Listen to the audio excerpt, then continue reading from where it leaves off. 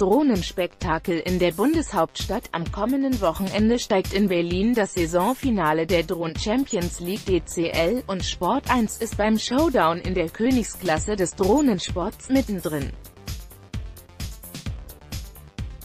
Deutschlands führende 360-Grad-Sportplattform präsentiert als Medienpartner der Drohnen Champions AG das erste Rennen Race 1 am Samstag, 2.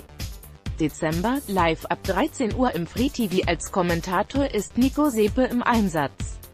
Auch bei Race 2 Uhr nachts Sonntag, 3. Dezember ist Sport 1 live dabei und überträgt das Drohnenrennen ab 16 Uhr im kostenlosen Livestream auf sport1.de mit englischem Kommentar. Nach einer aktiongeladenen Saison mit Rennen in Frankreich, Liechtenstein, Belgien und Rumänien steigt das DCL-Finale 2017 als Feature-Event auf dem Konrad Campus in der Station Berlin. Trendsport Drohnenrennen Ziel beim Drohnenrennen ist es, einen Parcours mit fernsteuerbaren Flugdrohnen, auch Racecopter genannt, möglichst schnell zu meistern.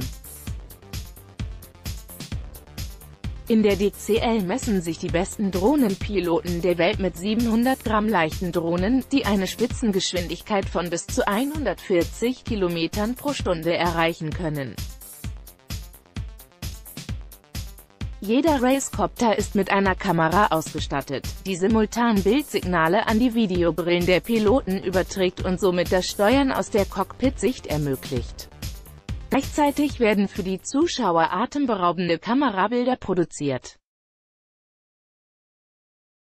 Die Drohnen Champions League live auf Sport 1 Anfang September 2017 präsentierte Deutschlands führende 360-Grad-Sportplattform das DCL-Rennwochenende in Liechtenstein im Livestream sowie Highlights im TV und damit die Trendsportart Drohnenrennen erstmals auf seinen Plattformen. Die Live-Premiere für die Königsklasse des Drohnensports im Free TV erfolgte am 14. Oktober 2017. Beim Grand Prix Salinator der im gleichnamigen rumänischen Salzberg-Werk zeigte Sport 1 zum ersten Mal ein DCL-Rennen in Live im deutschen Fernsehen.